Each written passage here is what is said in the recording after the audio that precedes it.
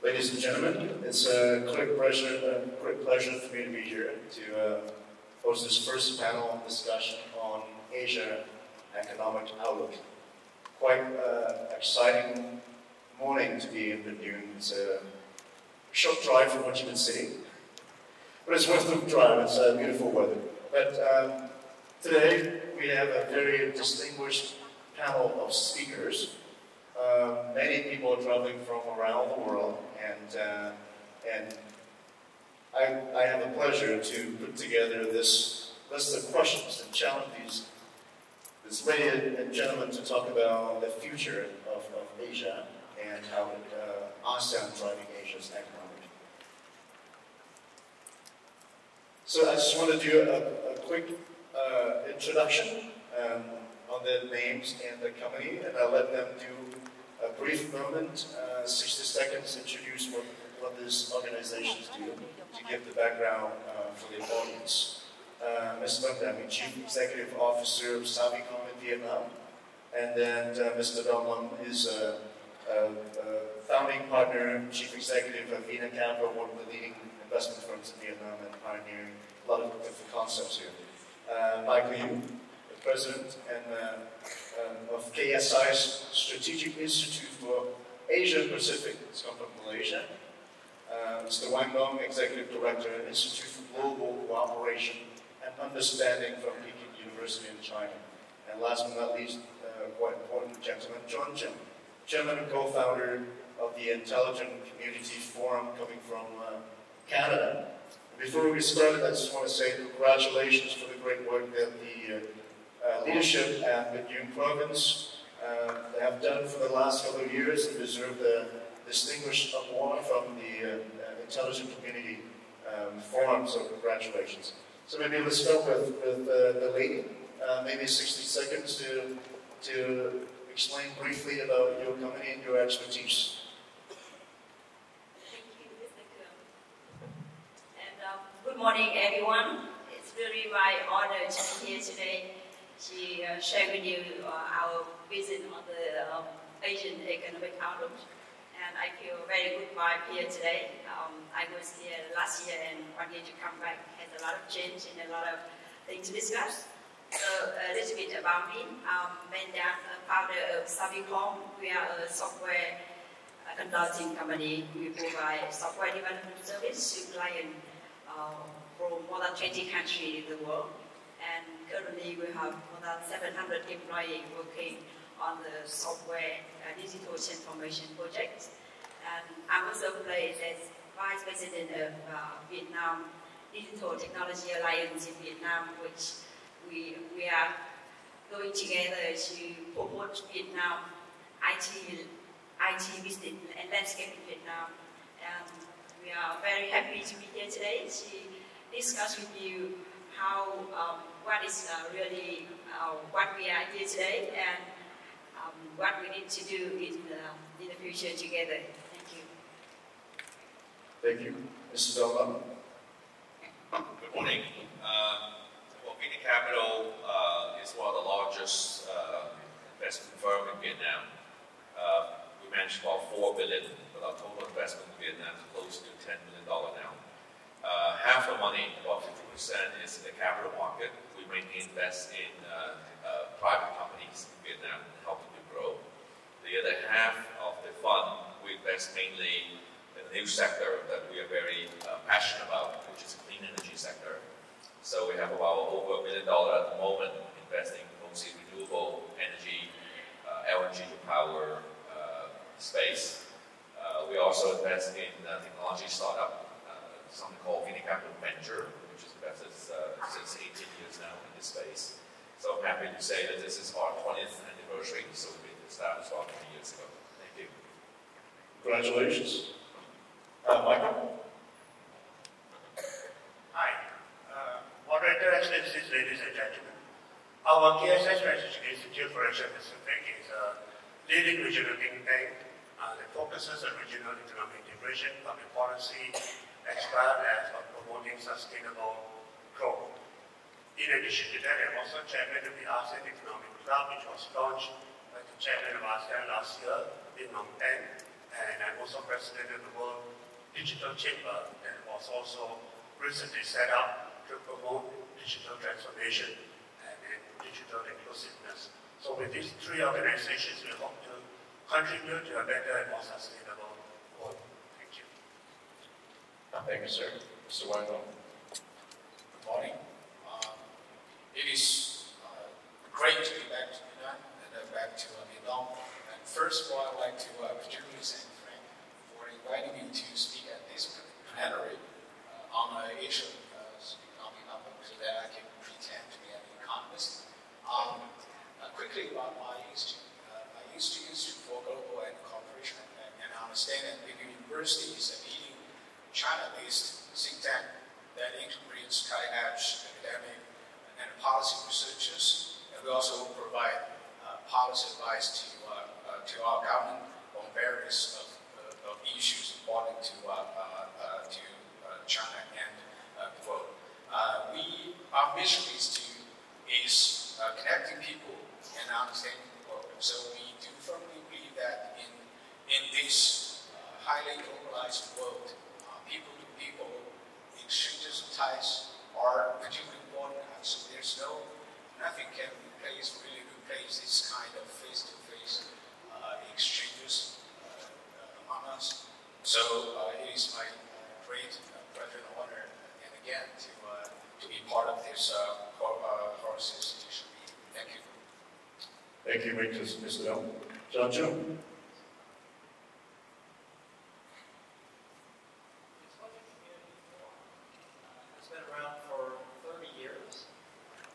In that time, it has worked with over 200 cities to recognize them as smart cities and intelligent communities. It's not uh, uh, insignificant that around the world we have 50 cities in Canada, 50 cities in the United States, so that includes uh, Mexico. Uh, we also have 50 cities in Europe and Middle East and Africa, and 50 cities uh, in Asia, Southeast Asia, South Asia, and Pacific. Uh, it's very interesting that all those cities, all those regions and towns uh, have worked extremely hard to be recognized. But we also host a number of events, we publish books, we undertake consulting, Uh, we work with academia, with business, and of government. And now, uh, readily with citizens as well. So you may have heard of what we call triple helix. We also now call it quadruple helix because we work very closely with citizens. And that is an important part of the equation of creating innovative, resilient, engaging, and inclusive communities Thank you, Mr. Jung.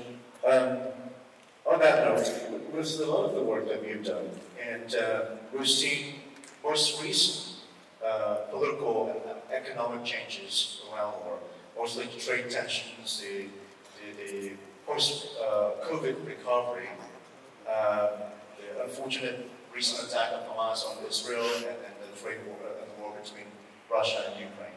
Lots of things happening, but the IMF still forecasted that um, uh, the region's growth is on track to play two-thirds uh, of, of the world's GDP. But these growths are not very sustainable, but we look at them. How is it that the global landscape is shifting quite significantly, but Asia is continuing to rise? What, what do you see as an impact on Asia that might make that being interrupted and not being sustainable?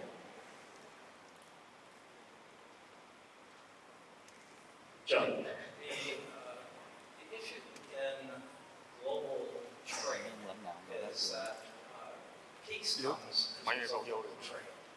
And what we need to see is uh, more conversation, connectivity among cities, regions around the world. The cities that uh, we work with, predominantly in Taiwan and uh, now here in Vietnam, but also also in other parts of, of Asia, uh, we have seen that they have the ability to continue to connect, to continue that aspect of trade. Uh, so as long as they are trading, there's peace. When we see that uh, communities are not connecting and they are not fulfilling their objectives of peace, uh, they're not trading. And that's a very uh, important piece of the puzzle that we're looking at. You see this uh, difficulty in, in, in Europe and particularly in the conflict between Ukraine and Russia, uh, where you're not seeing things evolve in the way that we had hoped to see with grain and, and so forth. Um, that is going to continue to go on for many years. And, and the opportunities then are for places like in Asia to take advantage of leverage the opportunities of trade and peace as long as that can be withstood. Um, a little concerned about the issues that, that take place with China and Taiwan, of course. Uh, but uh, what we need to do is keep that leverage of conversation open and look for ways in which that, uh, that conversation can continue on a global basis. Don, what do you think? Well, you know, the uh, last few years, you've got the trade tension, you've got the post-COVID, then you've got the war uh, going on. I think it's a lot of challenges globally. But I think coming of these challenges, uh, you look at it from an ASEAN perspective, as we talk about ASEAN economic, and Vietnam perspective, I think Vietnam have uh, benefited from some of these uh, trade tension. Uh, you look at from since 2018, uh, U.S. import uh, from China dropped about 10%, but Vietnam actually increased by about 7%. Uh, that's mainly because all the manufacturing is moving uh, toward Vietnam or diversifying uh, post-COVID. So first issue is, is uh, Vietnam will benefit uh, somewhat from this trade, trade tension.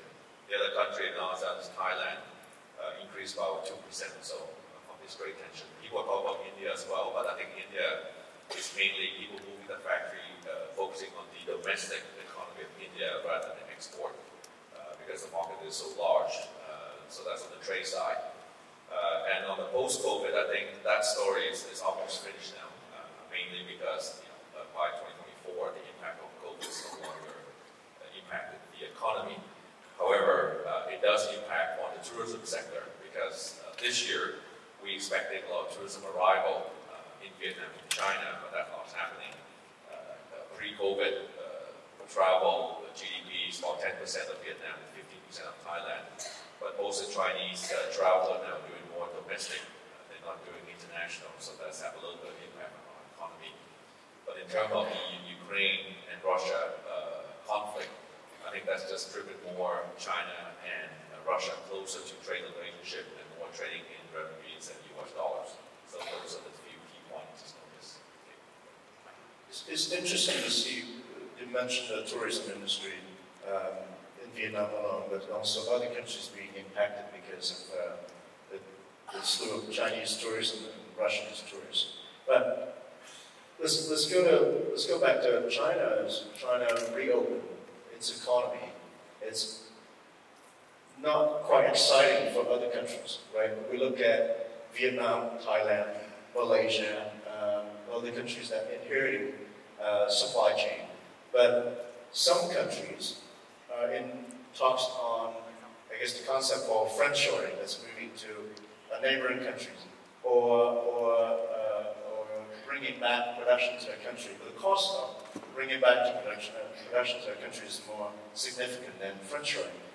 Um, what, what is your thought on that? And what are the countries that are being impacted and what should they do to consider these two options?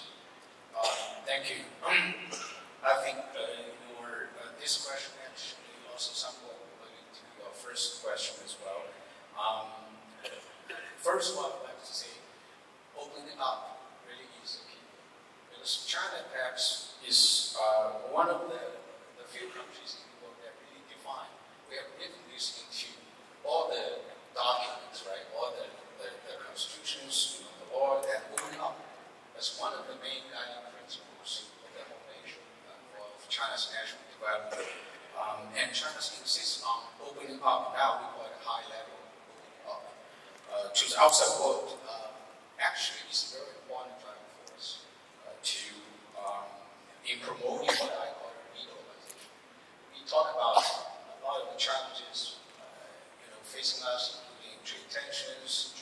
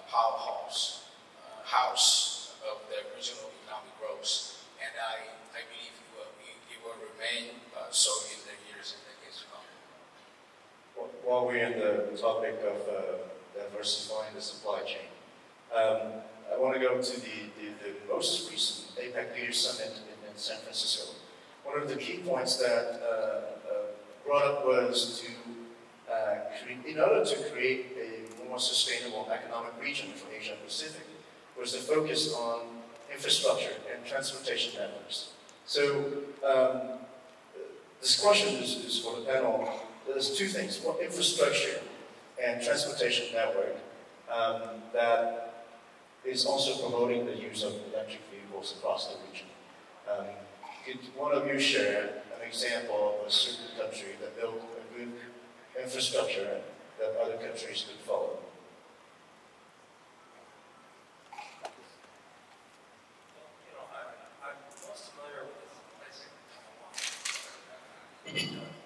It's sort of the, the, the, region the country that you're more uh, familiar with. So, of course, you see the kind of infrastructure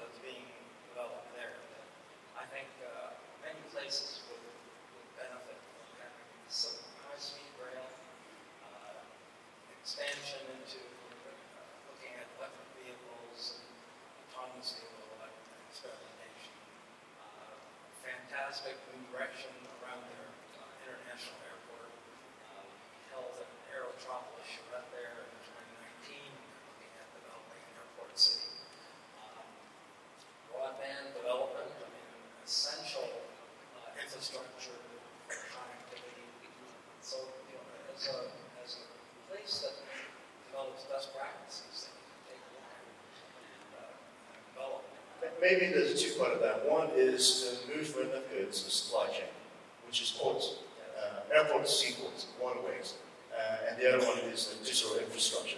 That's enhancing the, the, the uh, training, labor force, and so forth.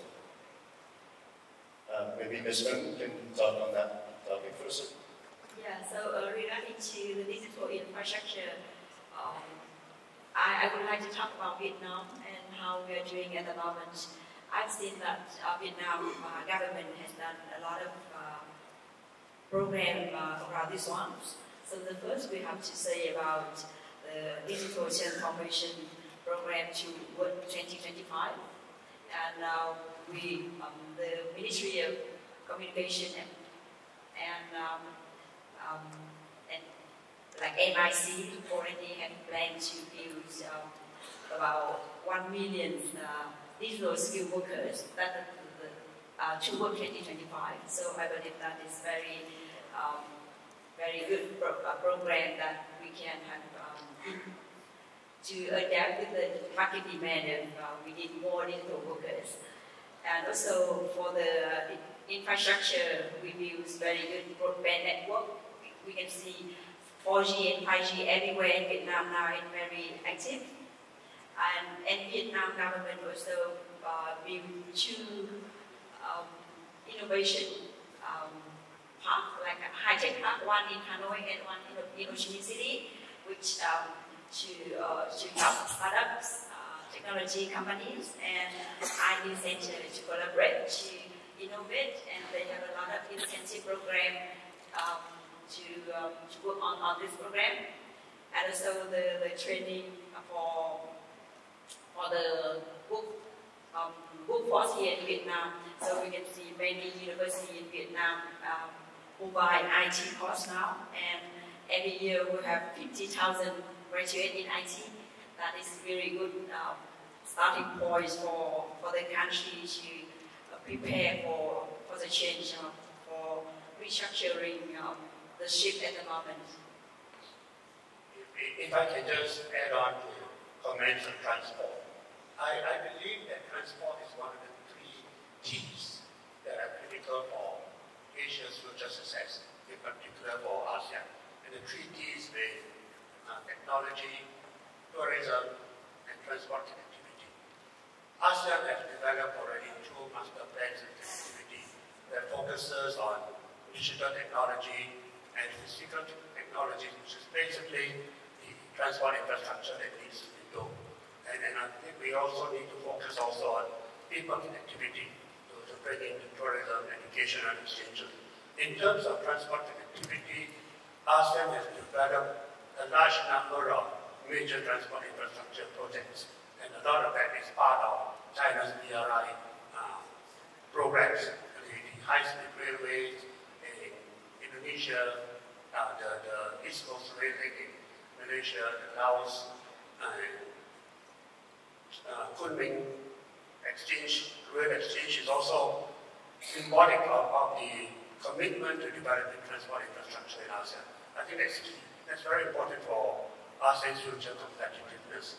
And I think if we look at ASEAN's economic future, one also needs to take into account what I call the three I's.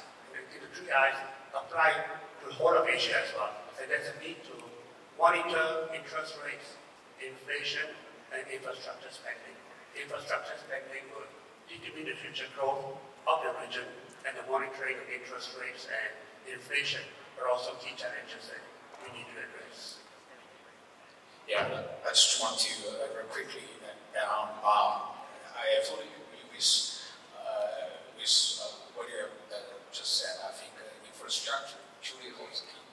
Um, and, uh, and as because we all know that this year actually marks the 10th anniversary of the Initiative that China proposed. Um, and, uh, um, and you mentioned the, high, uh, high speed railway uh, in Indonesia. I actually just came back from a 10 day trip to Africa. So China also helped me a uh, uh, Nairobi high speed uh, train uh, railway uh, in uh, uh, Kenya. That is very uh, impressive uh, as well. So there's any recipes for China's about the success story in the past 40 plus years of opening, reform, opening up, it is infrastructure, infrastructure, and infrastructure. Really. Um, as many of you might have heard of this Chinese uh, saying, uh, it's now now I'm sort of very familiar to a lot of uh, uh, uh, uh friends in the international community, which is if you wanted to get rich, to build the road first. So I think that's that's how I think Sunbeam uh, really um, internalized into the Chinese mentality and understanding how, in order uh, to promote economic robustness, economic growth, infrastructure should be always key. So, so uh, that's why I think uh, your question I think is very important. I think uh, the region uh, we have to be, I think, to be fully committed to to really promoting further promoting the infra infrastructure development, and that is also part of, in addition to BRI, what China has been promoting the, the Asian infrastructure investment bank and trying to help together with many partners in the region and world we are committed to. Just, just maybe just one thing on that. Um, I was at the APEC uh, summit in San Francisco uh, with the Vietnamese delegation, and obviously since it's in the U.S. it's by Biden administration, so all they talk about is economic, sustainable development and green. Uh, and so that was the main theme. Uh, and one key, just want to touch on two key issues. One is that uh, the company need to be prepared because by 2026, your manufacturing goods, if it's not uh, carbon neutral, you would have to pay a carbon tax, also export to Europe and US. And this is something that most companies don't understand and not prepare, and they should be. That brings me to the second topic, which is one of the key infrastructure that we will talk about. We talk about port, road, and so on and so railway.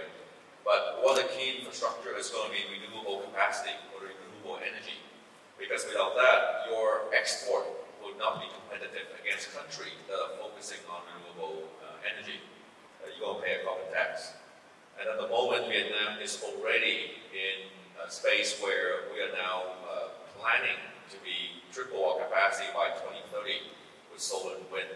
I think government countries should be prepared for that, otherwise their company will not be able to so from an energy perspective, it's not just Vietnam. I think in the last two years, we've seen a lot of interest and, and uh, Vietnam's economic growth has kind of slowed down this year. But it doesn't stop us from seeing a lot of interest from investors coming in to do uh, energy projects.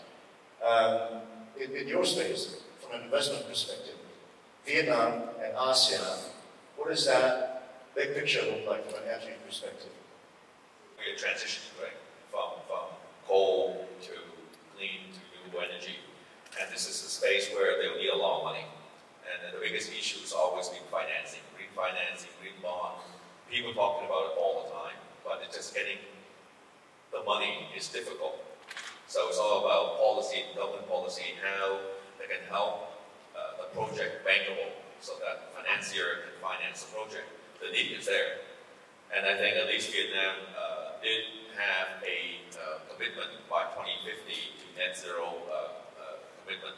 So that's a major step forward. The only issue now is we need the government to push forward some of the feed-in tariffs, of the policy that's making the project bankable. I think the, the opportunity in investing in clean, renewable energy in ASEAN, but especially in Vietnam, is, is very significant because, as the Prime Minister said at one point, what does Vietnam have? we have two great resources. We have a lot of sunshine and a lot of wind along the coast. So those are the natural resources we should use. Can I also just add that energy transition, I believe, is the single biggest challenge that all of us face in Asia. In, in ASEAN, the ASEAN governments have adopted an ASEAN Green Deal that, that focuses on the green transformation and promoting green growth. And in many of the countries, we have already adopted an energy transition roadmap to, to see how countries can be moving forward in, in, in transitioning to green energy in particular. I think in ASEAN there's lot of potential for solar energy and, and also in some of our countries, hydro is a uh, good prospect as well as the, the transition to hydrogen, hydrogen energy. And I think these are challenges that needs to be looked at. And as Don has pointed out very clearly, there is a huge financing gap. And, and there is a need for long-term financing. And, and, in this regard, we need to tap both the normal capital market and Islamic capital market in terms of sukuk bonds, long-term sukuk bonds that will be able to finance the green energy projects. I, I, I believe that the four biggest challenges facing us in Asia are what I would call the 4D challenges. Debt, increasing debt countries and companies have got to address the, the need for uh, decarbonization, uh, the energy transition, and for digitalization to transition into a, a digital economy, as well as on the deficits that many countries are facing. The 4D challenges would have a big impact on ASEAN's future competitiveness and needs to be prioritized. Energy is such a long-term game. It's, it's, it's long-term investment. It's uh, required collaboration between the private and public sector. Doesn't happen tomorrow. But what we see today is, is going back to the, the global shift of, supply chain. Right? There's an immediate and midterm need and demand that needs to resolve from companies that are moving out of China to other countries, trade-reliant countries such as Vietnam, Thailand, Malaysia, being some intermediary uh, uh, steps to, to, to mitigate these things. What, what are these countries supposed to be what are the good examples of other countries have done so? Um, bridging on, on Mr. Don just said it by 2026, you're not doing that, you're going to receive hefty corporate tax on, on uh, carbon neutral. Um, is there an example in the region that is a specific country that done so quite well? Not so much. We need more money.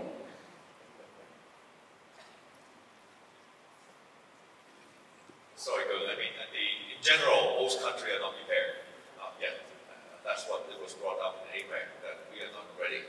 Uh, most companies don't even know there's going to be a, a carbon tax coming up in 2026. So, what of our role? Uh, I'm part of the, uh, the Private Sector Advisory Council uh, for the Prime Minister of Vietnam, and one of our key objective in 2024 is to educate uh, the public and educate the companies that they need to be ready uh, for this. But I don't think many countries in ASEAN is actually uh, prepared for it yet. This is mostly you know, European-driven policy, so sort of imposed back into uh, Asia and say you, you got to do this. So we're not ready. Okay, well then, I guess the, the next August uh, uh, segue would be opportunities for investment. This is the, the space that's a lot of opportunities, the place that uh, minor countries and companies are not prepared. So, um, which which industry that we see would be a good uh, investment that for a more sustainable future and also resolving some of the immediate issues? I would say for most of us in ASEAN, resource-based industries could be the way forward because that can provide an opportunity also for sustainable growth and, and resource-based industry will facilitate the uh, transition to, to more efficient production in, in, many of the countries in ASEAN. From being just the producer of primary products into a more resource-efficient transition. Tourism, education, healthcare are some of the services industries that I think will show uh, good prospects in the other countries as well. So just add something. The issue that I see in many countries, not just in Asia, but in many countries where they're beginning to look for uh, new value-added uh, products and services, is that where they don't have the educated workforce uh, to provide that new direction. So it takes time, and they need to be able to uh, develop a strategy that then ties the education uh, to the kinds of direction that that workforce might be able to apply themselves to. And uh, many communities, whether it's Asia or anywhere else, they're not looking at that specific strategy fast enough have to be agile, we have to be able to pivot very quickly into new directions where that value-added service or product is needed. And so therefore, we have to work very closely with uh, uh, the post-secondary institutions. And you have to be able to bring entrepreneurialism and uh, that kind of added spirit even into the primary schools. Uh, well, what I noticed here, and, and Binh Duong, companies that that was part of their strategy. Uh, they realized that in order to shift from agrarian to traditional manufacturing, they had to involve uh, academia. And I think that that was a very important, very specific direction that helped this community uh, move forward. And so you have these universities here, like representatives from Eastern International University here. Uh, they're the kinds of future that I think is necessary to look at the economy for, for Vietnam, but also for Asia. And so that is a very important ingredient in this whole conversation. It- It's, yeah, very quickly, I want to add on to uh, our discussion. I, I- I think another area uh, which is very important uh, is uh, the clean energy, renewable energy uh, field. Um, and uh, uh, I, I remember yesterday when I was uh, on my flight from Guangzhou to Minh City, I was uh, reading on the newspaper a story report said that China actually, the, the, the, for the uh, 10 months of this year, China has uh, exported over 3.9 million of automobiles, uh. So China is set to become the largest exporter uh, of automobiles uh, in the world this uh, for the first time. But also a big chunk of that number is actually electronic vehicles, EVs. Uh, so uh, few people actually now have noted that China, in the past a few years, while COVID sort of, you know, is really um, sort of uh, right uh, uh, stretching the whole world, China has transitioned from become one of the largest exporter, producer, and exporter of EVs. And and uh, and I think this is uh, just one example that how we should invest more. Uh, like Ms. Uh, Don Lam noted that most of companies, most countries in the world were not prepared for this transition. Um, but I, I, I fully uh, uh, also uh, believe that now is the time for us to truly invest more heavily into this field. So, so the obvious one will be uh, uh, energy uh, to drive that growth. But go back to what you said, EV market. EV market, a big driving force for a stronger economic region in Asia, besides China. So what other countries are doing that? vietnam Vietnam's VinFast is a good example. But uh, what, what other countries that are they should be investing in EVs? I, I, believe Malaysia and Indonesia are also placing emphasis on EV. Malaysia is partnering with many Chinese companies, uh, BYD and Geely, among others, to, to roll out EV transportation. And not just EV cars, but also EV buses. Uh, in the state of Sarawak in Malaysia, the public transport system will be basically be driven by uh, EV buses uh, manufactured in China. So, so having uh, a rail and, and transport network system that is based on EVs could be one way to go forward. There is a need also to promote the whole concept of smart cities will not just be focusing on EVs, but also on smart buildings and smart production, smart manufacturing, and smart jobs as well, sustainable jobs. Just, just a quick touch on uh, Indonesia will have a smooth benefit because they do have a lot of material that go to EV production. So that's the indirect impact of resources from Indonesia. They will But talking about EV and talking about all this stuff, only come one conclusion. Everyone will be using a lot more electricity, right? EV car, EV bus will need more electricity. So somebody needs to invest in electricity generation for all these needs. Because uh, I was at another event and there was a person who actually stand up and predicted by 2030, which is really six years from now, carbon car using gas will be obsolete. EV will take over as a majority of transportation. And that's mainly driven from China, really. Because China was the place where they can get the cost of an EV car down to the same level as a big gas car, but eventually in the next few years be even lower than the combustion car. So that's the, the, the turning point where people will start using more EV than gas car.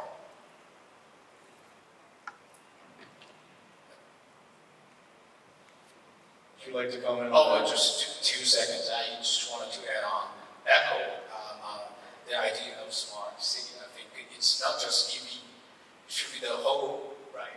And how the city is run, designed, well, I should, should be transitioned to relying upon the low sort of uh, consumption of energy to a uh, uh, sustainable new uh, clean energy mode. Um, so, so actually, our, my for uh, global cooperation understanding of IGCU uh, Peking University actually beginning last year and this year uh, we released a, uh, ranking or report on the smart city in Asia and this year as well smart city uh, ranking of the G20 economies. I think so, those are the, uh, the, the, the studies, I think the areas uh, we need to really pay more attention to. Um, John, maybe this is the topic you're an expert in. You share a bit more on the smart cities um, development and influence in, in, in ASEAN? So, uh, as I was saying, there are lots of uh, communities in Asia, as are all over the world, that are looking at developing smart cities and, and what we refer to as intelligent communities. And there is a big difference between smart cities and intelligent communities. We'll be talking about that in another session today, and I'll just give you a quick uh, rundown of what the difference is. Smart cities is really all about efficiency, convenience for the public, and for measurement of data and the analysis so that decision makers can make informed decisions. Uh, the aspects of going beyond that, dealing with how you take the smart elements, the technology, the, uh, uh, the data, and so forth, and you begin to apply it at other levels. That takes it into the people side, not on the technology side. And so that's why I was concerned about uh, how much education is, is underway in developing strategies in communities to be able to take advantage of what smart cities and intelligent communities are able to do. But they do have issues of uh, being able to come up with the energy to be able to uh, make them properly work in a community. Uh, in, in some communities where they're going to have cheaper power, they're going to attract uh, investors in other areas where they're going to be limited, uh, that is going to be a problem for attracting kind of investment. So site locators are looking at the whole smart, smart city issue and saying to themselves, uh, if you can get uh, cities that can be properly run with power around the whole data and technology piece, then let's see what else they can do. And that's why it's important to go into the other direction of the people side. And that includes not only the knowledge workforce, but how they're applying innovation and how they're use, using sustainability and resilience methods in order to uh, capitalize on their community development. And that's why it's important to also include the citizen as part of that whole discussion. Because we're beginning to find in some places there's a pushback by citizens around privacy concerns in smart cities and uh, how uh, you know, they're being issues of, of uh, a lack of transparency and those sorts of things. So it's not a, it's not an easy topic. It's a big topic to, uh, to cover. For this purpose, I think uh, you do have quite a number of smart cities in, in Asia, and more and more are being developed. And I think that's important. So. I, think the competition of uh, electrification of everything is overtaking the topic of smart cities and kind of put it in the back burner for many uh, uh, leaders in, in the public space. Um, let's go back to China. Let's say the big things that we never talked about was the whole real estate crisis in China and continuing to worsen and, and affecting the, the, purchasing power and everything uh, shifting out of, of China. Uh, Japan's economy is not great.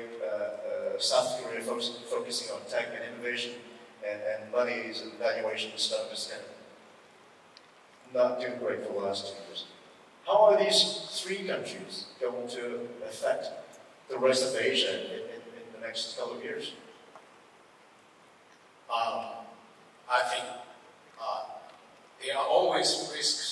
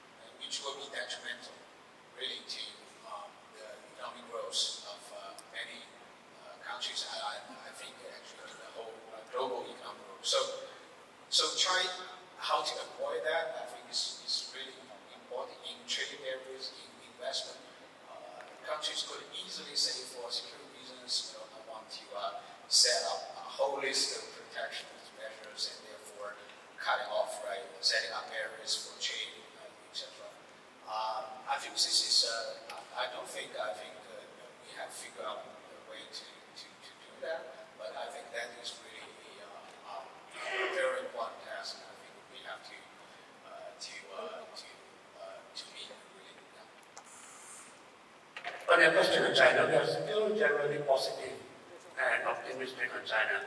We note that the property sector in China is going through some difficulties, but we are also confident that the new National Finance Commission that President Xi has established and now chaired by Renali Zhang would be able to help turn around the property sector in China. But more importantly for us in Southeast Asia, our investments from China are not so much from Chinese private enterprises or property companies, but we are more reliant on China SOEs, state-owned enterprises that are investing in infrastructure, transport infrastructure, and power infrastructure in the region. And we still believe that China can play a big role in the development of Southeast Asia. With regard to Japan and Korea, we see the China plus one strategy as advantageous to our region that Japanese and Korean companies that want to diversify from the China have a plus one uh, location, looking at Vietnam, Indonesia, Malaysia, Thailand, are opportunities for us in Southeast Asia. So, um, running out a little bit of time, but uh, maybe this question's on the, the, host countries as Vietnam. Um, we, we did have a really good year this year. Uh, corporate bonds market, the real estate market, and dragged down a lot of services relating industry. Um, next year, projections, this year was about 4 point something in terms of economic growth. That's more lower than 8% last year. Next year, pointing uh, IMF projected being 5.7. Still low. Maybe Andon and then Ms. Van can comment on the rising industry that we're busy doing something. Uh, one, energy will take time, but let's just talk about some other industry that will be exciting and that will drive more economic growth for Vietnam in the next two years. You know, um, in, in uh, this year, yes, we will be less than 5% GDP growth, uh, but in-house, our chief economist predicted between 6 and 6.5% next year uh, GDP growth of Vietnam. Still pretty decent, pretty good. Uh, and, and, mainly it's driven by, uh, you know, as uh, post-COVID, the U.S. Uh, market is one of the biggest for Vietnam export. So they built up inventory and basically the last 9 to 12 months just driving down the inventory level. And we can see a lot of manufacturers now starting to pick up again. Uh, so manufacturing refilling those orders. So that's why we believe that next year the economic growth will be slightly higher because the reordering uh, mainly from the international market, uh, which benefit Vietnam. The second point is on the FDI. I think foreign direct investment is still continue to flow to Vietnam, uh, and, and that will have a significant impact on the growth. The third factor is Vietnam is pushing hard for infrastructure uh, development uh, disbursement, which is very slow in the first half of this year. But we believe that will pick up uh, probably toward the end of this year and the next two or three quarters.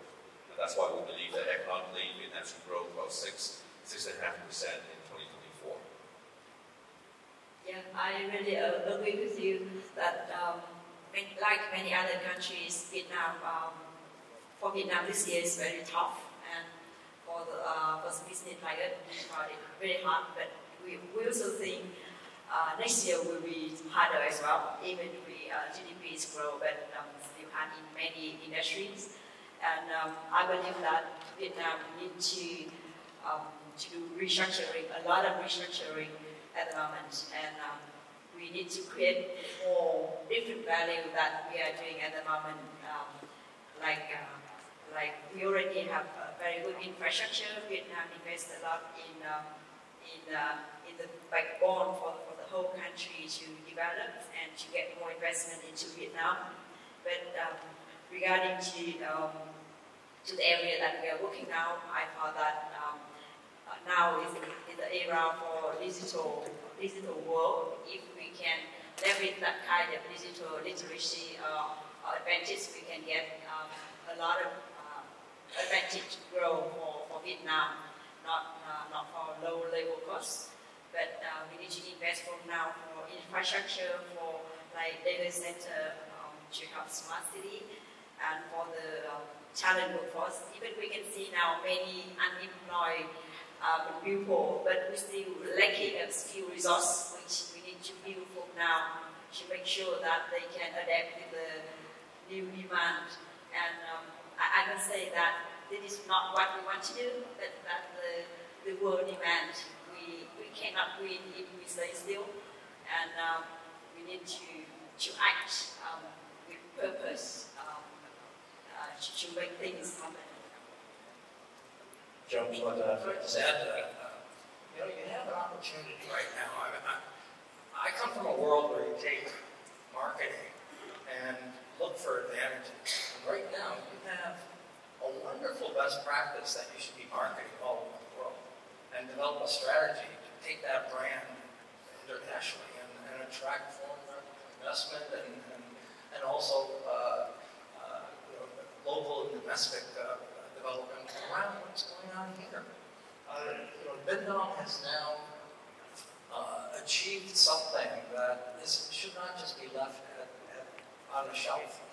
Uh, you should take this recognition, develop the best practices that are going on here, and attract the kind of foreign direct investment, uh, delegations, you know, these, sorts of events, and, and, and bring the world to uh, Vietnam so they can finally see what's going on here.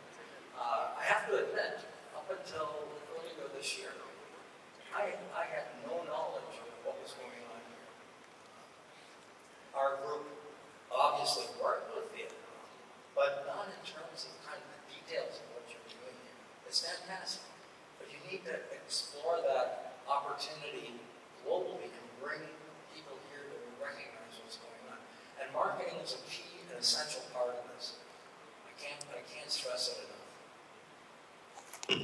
Thank you, John. Um, as you can hear, there are a lot of things that are moving, and uh, all things points to the key sector, which is energy. Has to be clean, renewable energy, and for Southeast Asia, for ASEAN region, or manufacturing uh, reliant country that will be uh, following some of the best practices from Europe. But uh, there's nothing we can resolve in just an hour, but I hope you find this insightful for all the wonderful speakers here today. Thank you very much for joining us, and I wish the conference much success. Thank you.